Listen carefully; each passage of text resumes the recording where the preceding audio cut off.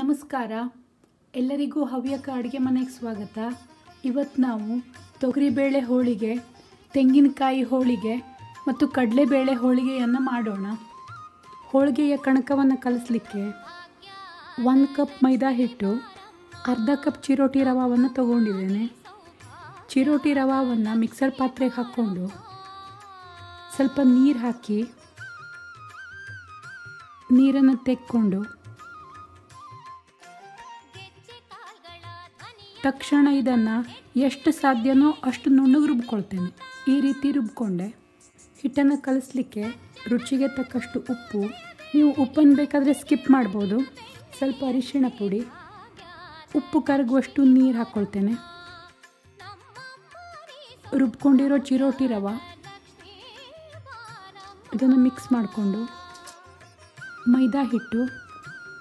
ಇದ್ರ ಜೊತೆ ಮಿಕ್ಸ್ ಮಾಡಿಕೊಂಡು ನೀರು ಹಾಕ್ಕೊಂಡು ಚಪಾತಿ ಹಿಟ್ಟಿಗಿಂತ ಸ್ವಲ್ಪ ಮೆದುವಾಗಿ ಹಿಟ್ಟನ್ನು ಕಲಿಸ್ತೇನೆ.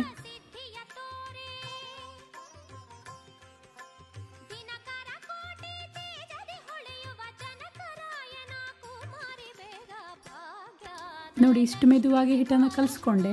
ಈಗ ಎರಡು ಸ್ಪೂನ್ ಎಣ್ಣೆ ಹಾಕ್ಕೊಂಡು ಹಿಟ್ಟನ್ನು ಚೆನ್ನಾಗಿ ನಾದ್ಕೊಳ್ತೇನೆ.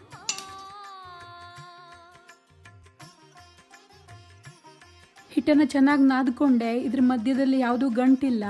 ಈಗ ಈ ಹಿಟ್ಟನ್ನು ಎಲ್ಲ ಕಡೆ ಹರಡಿ ಮೂರು ಸ್ಪೂನ್ ಎಣ್ಣೆ ಹಾಕಿ ನೆನೆಲಿಕ್ಕೆ ಬಿಡ್ತೇನೆ.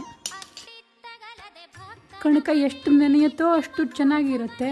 ತೆಂಗಿನಕಾಯಿ ಹೋಳಿಗೆಯನ್ನು ಮಾಡಲಿಕ್ಕೆ ಮಿಕ್ಸರ್ ಪಾತ್ರೆಗೆ ಒಂದು ಕಪ್ ತೆಂಗಿನಕಾಯಿ ತುರಿಯನ್ನು ಹಾಕ್ಕೊಂಡು ಇದನ್ನು ನೀರು ಹಾಕ್ಕೊಳ್ಳದೆ ತರಿ ತರಿಯಾಗಿ ರುಬ್ಕೊಳ್ತೇನೆ. ಇದರಲ್ಲಿ ಎರಡು ಸ್ಪೂನ್ ನೀರು ಹಾಕ್ಕೊಂಡು ಇನ್ನು ಇಪ್ಪತ್ತು ಪರ್ಸೆಂಟ್ ನುಣ್ಣಗಾಗುವಷ್ಟು ರುಬ್ಕೊಳ್ತೇನೆ. ದಪ್ಪ ತಳ ಇರೋ ಪಾತ್ರೆಗೆ ಹಾಕ್ಕೊಂಡು. ಮುಕ್ಕಾಲು ಕಪ್ಗಿಂತ ಸ್ವಲ್ಪ ಕಡಿಮೆ ಬೆಲ್ಲ. ಇದನ್ನು ಮಿಕ್ಸ್ ಮಾಡಿಕೊಂಡು. ಇದು ಬಿಸಿಯಾಗೋ ತನಕ ಮಿಕ್ಸರ್ ಪಾತ್ರೆಗೆ ಅರ್ಧ ಟೇಬಲ್ ಸ್ಪೂನ್ ಚಿರೋಟಿ ರವಾವನ್ನು ಹಾಕ್ಕೊಂಡು ಇದನ್ನು ತೊಳೆದು ಎಷ್ಟು ಸಾಧ್ಯನೋ ಅಷ್ಟು ನುಣ್ಣಗೆ ರುಬ್ಕೊಳ್ತೇನೆ. ರುಬ್ಕೊಂಡಿರೋ ರವಾವನ್ನು ಈ ತೆಂಗಿನಕಾಯಿ ಮಿಶ್ರಣಕ್ಕೆ ಹಾಕ್ತೇನೆ. ಹೋಳಿಗೆ ಗಟ್ಟಿಯಾಗಬಾರ್ದು ಅಂತ. ಸ್ವಲ್ಪ ಏಲಕ್ಕಿ ಪುಡಿ ಹಾಕ್ಕೊಂಡು ರವೆ ಬೇಯೋ ತನಕ ಬೇಯಿಸ್ಕೊಳ್ತೇನೆ. ನಾನು ಸಣ್ಣ ಉರಿಯಲ್ಲಿ ಮಿಕ್ಸ್ ಮಾಡ್ಕೊಳ್ತಾ ಎಂಟು ನಿಮಿಷ ಬೇಯಿಸ್ಕೊಂಡೆ. ಇದ್ರ ಕನ್ಸಿಸ್ಟೆನ್ಸಿ ರವೆ ಕೇಸರಿ ಭಾತನ್ನು ಮಾಡ್ತೇವಲ್ವ ಆ ಥರ ಇದೆ. ಈಗ ಇದನ್ನು ಆರ್ಲಿಕ್ಕೆ ಬಿಡೋಣ. ಕೈಗೆ ತುಪ್ಪ ಹಚ್ಕೊಂಡಿದ್ದೇನೆ. ಇದನ್ನು ಚೆನ್ನಾಗಿ ಮಿಕ್ಸ್ ಮಾಡಿಕೊಂಡು ಚಿಕ್ಕ ಚಿಕ್ಕ ಉಂಡೆಗಳನ್ನಾಗಿ ಮಾಡ್ತೇನೆ.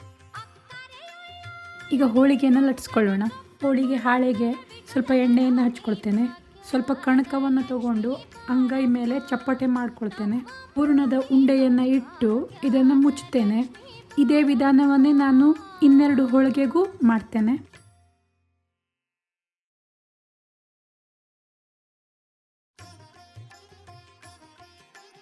ಎಕ್ಸ್ಟ್ರಾ ಇರೋ ಕಣಕವನ್ನು ತೆಗಿತೇನೆ. ಈ ರೀತಿ ಕವರ್ ಮಾಡ್ಕೊಂಡಿರೋ ಭಾಗವನ್ನು ಹೋಳಿಗೆ ಲಟ್ಸೋವಾಗ ಕೆಳಗಡೆ ಹಾಕ್ತೇನೆ. ಇನ್ನೆರಡು ಹೋಳಿಗೆ ಮಾಡುವಾಗಲೂ ಇದೇ ವಿಧಾನ. ಮೈದಾ ಹಿಟ್ಟಲ್ಲಿ ಅದ್ಕೊಂಡು ಲಟ್ಟಿಸ್ತೇನೆ. ಲಟ್ಟಣಿಗೆ ಕೋಲಿಗೂ ಸ್ವಲ್ಪ ಮೈದಾ ಹಿಟ್ಟನ್ನು ಹಚ್ಕೊಳ್ತೇನೆ. ಲಟ್ಟಿಸ್ಕೊಂಡ ಹೋಳಿಗೆಯನ್ನು ಬೇಯಿಸ್ಕೊಳ್ಳೋಣ. ಬಿಸಿ ಕಾವಲಿಗೆ ಸ್ವಲ್ಪ ಎಣ್ಣೆ ಹಾಕ್ಕೊಂಡು ಎಣ್ಣೆಯನ್ನು ಎಲ್ಲ ಕಡೆ ಸವರಿ. ಹತ್ತು ಸೆಕೆಂಡ್ ಆದಮೇಲೆ ಹೋಳಿಗೆ ಹಾಳೆಯನ್ನು ತೆಗಿತೇನೆ. ಕಾಯಿ ಹೋಳಿಗೆ ಮಾತ್ರ ತುಂಬ ಬೇಯೋದು ಬೇಡ. ಯಾಕೆಂದರೆ ನಾವು ತೆಂಗಿನಕಾಯಿ ಹೂರಣವನ್ನು ಕಾಯಿಸಿದ್ದೇವಲ್ವ ಹಾಗಾಗಿ ಹೋಳಿಗೆ ಗಟ್ಟಿಯಾಗಿಬಿಡ್ತದೆ ಇಲ್ಲೆಲ್ಲ ಬೆಂದ ಥರ ಕಂಡ ತಕ್ಷಣ ಇದನ್ನು ತಿರುಗಿಸಾಕ್ತೇನೆ.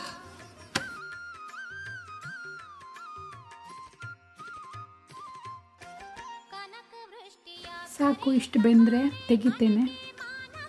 ಕಡಲೆಬೇಳೆ ಹೋಳಿಗೆಯನ್ನು ಮಾಡಲಿಕ್ಕೆ ಒಂದು ಕಪ್ ಕಡಲೆಬೇಳೆಯನ್ನು ತಗೊಂಡಿದ್ದೇನೆ.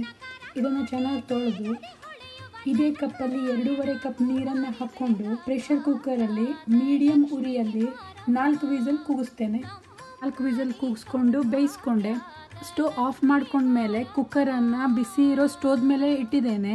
ಪ್ರೆಷರ್ ಆರಿದ ಮೇಲೆ ತುಂಬ ಹೊತ್ತು ಕಡಲೆಬೇಳೆಯನ್ನು ಬಿಸಿ ನೀರಲ್ಲಿ ಇಡಬಾರ್ದು. ಇದನ್ನು ಈಗ ಸೋಸ್ಕೊಳ್ತೇನೆ. ಬೆಂದ ಕಡಲೆಬೇಳೆಗೆ ಒಂದು ಕಪ್ ಬೆಲ್ಲ, ಕಾಲು ಕಪ್ ತೆಂಗಿನಕಾಯಿ ತುರಿ ಮಿಕ್ಸ್ ಮಾಡಿಕೊಂಡು ಬಿಸಿ ಇರುವಾಗ ಮಿಕ್ಸರ್ ಪಾತ್ರೆಗೆ ಹಾಕ್ಕೊಂಡು ಎಷ್ಟು ಸಾಧ್ಯನೋ ಅಷ್ಟು ನುಣ್ಣಗೆ ರುಬ್ಕೊಳ್ತೇನೆ. ರುಬ್ಕೊಂಡಿರೋ ಮಿಶ್ರಣವನ್ನು ದಪ್ಪ ತಳ ಇರೋ ಪಾತ್ರೆಗೆ ಹಾಕ್ಕೊಂಡು ಸ್ವಲ್ಪ ಏಲಕ್ಕಿ ಪುಡಿ, ಇದನ್ನು ಸಣ್ಣ ಉರಿಯಲ್ಲಿ ಮಿಕ್ಸ್ ಮಾಡ್ಕೊಳ್ತಾ ಚೆನ್ನಾಗಿ ಬೇಯಿಸ್ಕೊಳ್ತೇನೆ. ಹೂರಣವನ್ನು ಹನ್ನೆರಡು ನಿಮಿಷ ಸಣ್ಣ ಉರಿಯಲ್ಲಿ ಮಿಕ್ಸ್ ಮಾಡ್ಕೊಳ್ತಾ ಬೇಯಿಸ್ಕೊಂಡೆ. ಕಡಲೆಬೇಳೆಯಲ್ಲಿರೋ ನೀರು ಆರಿದೆ. ಹಾಗೂ ಚೆನ್ನಾಗಿ ಬೆಂದಿದೆ.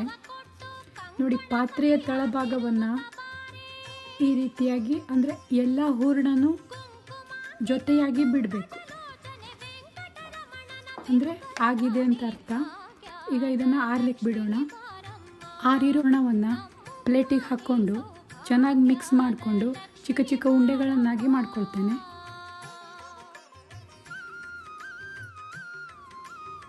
ಹೋಳಿಗೆಯನ್ನು ಲಟ್ಸ್ಕೊಳ್ಳೋಣ.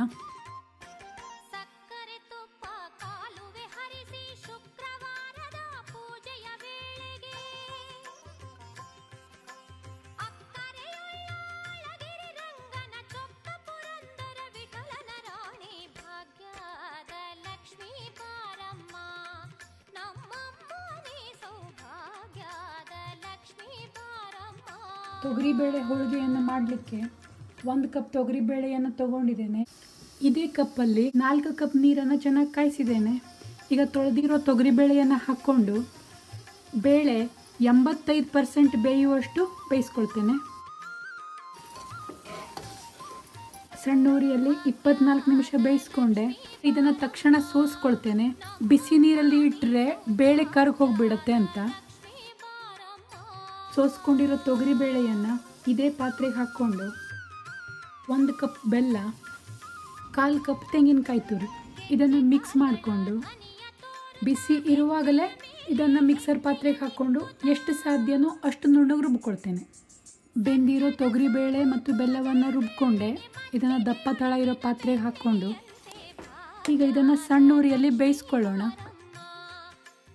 ಬೇಯೋಕ್ಕಿಂತ ಮೊದಲೇ ಈ ಬಣ್ಣ ಇದೆ ಅಲ್ವಾ?